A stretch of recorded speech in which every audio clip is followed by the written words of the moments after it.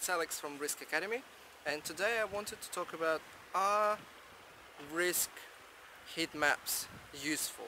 Or risk maps or heat maps you can call them whatever are they useful? And I think my, my simple answer is no they are not.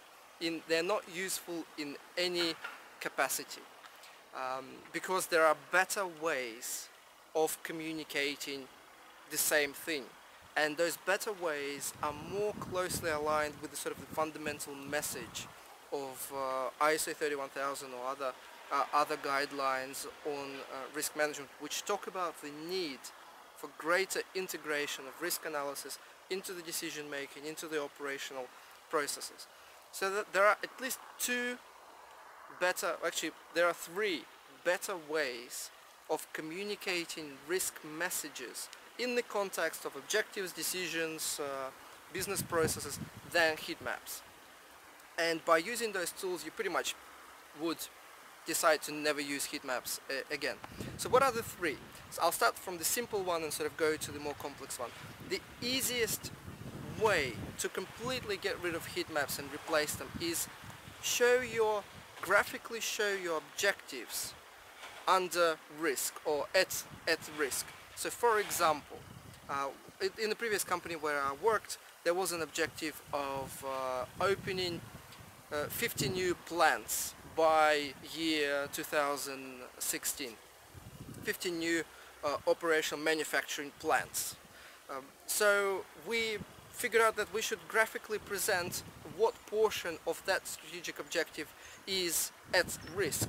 So we said, well, you know, 30 out of 50, so this is a spectrum, 50, 30 out of 50 have already been opened.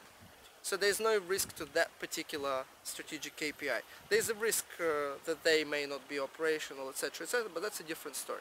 So 30, no, no risk.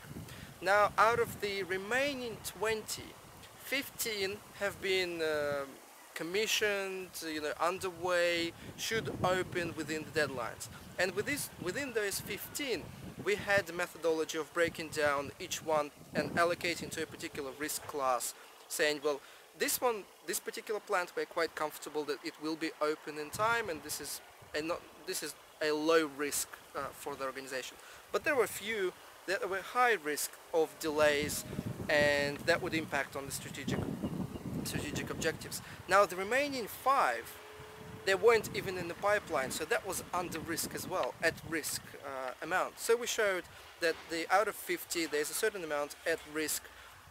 The planned ones, which are likely to be delayed, as well as something that is not yet that's uh, missing from the pipeline and has to be figured out. So that's number one. You can actually take any objective or any decision and figure out how to graphically present it with the risk information embedded. This is a much better way than showing just an abstract heat map with risks. Because after all, risks is the effect of uncertainty on objectives. So why don't you show instead objectives with uh, the risk information attached. So that's number one, that's the easy one.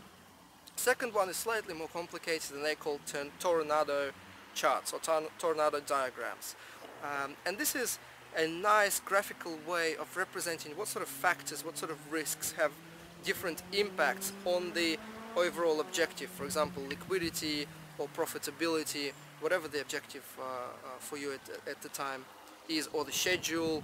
You can actually, using some uh, sensitivity analysis and scenario analysis in Excel, you, you can show what impact each of those risks will have on your final objective. And tornado diagrams are great way of representing. I, I, sincerely hope that one day they will replace all heat maps forever. Uh, but there's an even better way, this is number three, and it's the results of Monte Carlo simulations, where you can show the distribution of the final result. And instead of saying that uh, you know we expect a profit of 1 billion, you can say, well actually with the risks in mind, your profitability may be between 700 and 1 billion point one and uh, there are certain risks that affect that. So there are at least three better ways of showing risk information in the context of the actual business objectives than heat maps. So I sincerely hope that one day we will completely forget about those heat maps and we'll never use them use them again. If you agree or disagree, write comments underneath this video. And if you like more videos like that, please sign up for the Risk Academy YouTube channel. Thank you and goodbye.